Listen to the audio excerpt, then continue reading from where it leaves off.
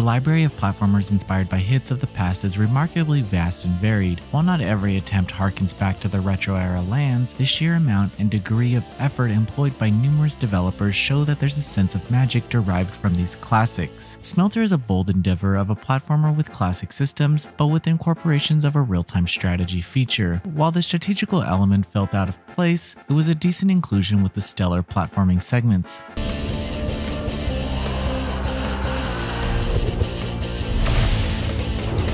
Smelter focuses on the protagonist Eve and the titular character who calls himself Smelter. After Eve's significant other Adam falls victim to the fruit of temptation, he ends up vanishing without a trace. After wandering for a while, Eve encounters a talking set of armor who introduces himself as Smelter. The two end up choosing to work together, and Eve ends up wearing him as armor to boost her combative and exploratory prowess. Eve desires to find her beloved Adam, while Smelter seeks to expand his overall reign and influence across the land. Gameplay in Smelter is split between two components, platforming and strategical expansion. The platforming is simple enough to parse and is arguably where you will be spending most of your time. Players traverse several stages that all evoke varying atmosphere and produce unique enemies, challenges, and more. First and foremost, it is vital to point out that this is a challenging title that echoes the difficulty many classic games are known for. In, in, particular, Smelter heavily reminds me of the Mega Man X series when it comes to movement. There are a fair amount of skills unlocked through the story progression that all serve as Eve's movement options or combat capabilities. Platforming is highly dependent on proper timing. There are checkpoints scattered throughout the stages, with each progressing smoothly to avoid any awkward inputs.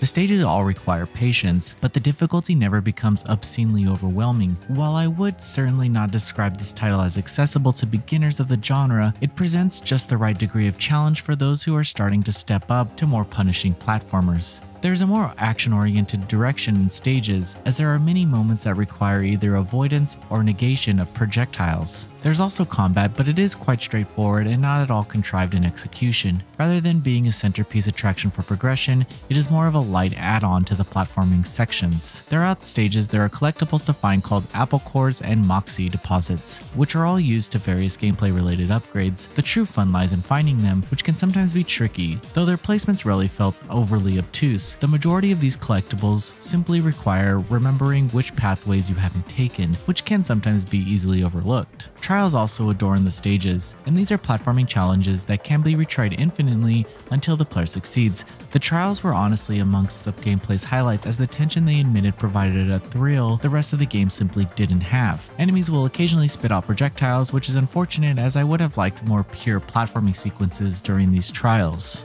The other gameplay component I have neglected to discuss is the strategical expansion that occurs when you play a smelter on the map. These sequences are incredibly overwhelming when they're first introduced. There's tutorial after tutorial to point you where to go, but this ends up guiding the player's actions for a bit too long for my liking, instead of letting the player experiment and figure out the mechanics independently. Still, the UI can be a tad muddling to comprehend at points thanks to the font size and type.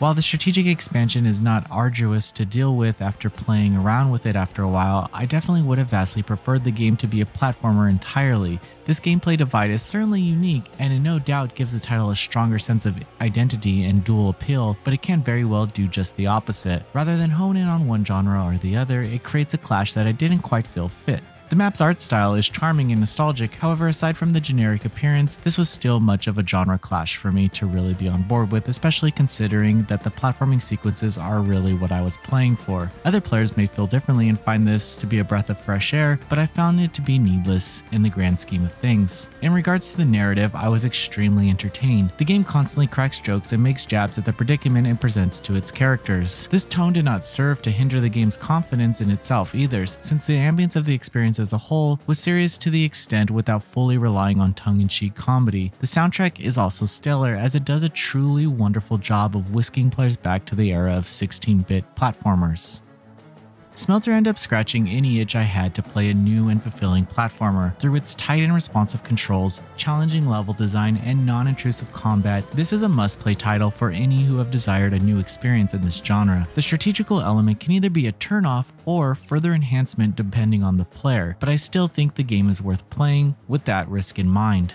Noisy Pixels giving Smelter an 8 out of 10. Thank you for watching. Please read the full review at noisypixel.net. Noisy Pixel is run by a group of gamers who work hard to deliver news, reviews, previews, and more. Please subscribe to keep up with all our future content.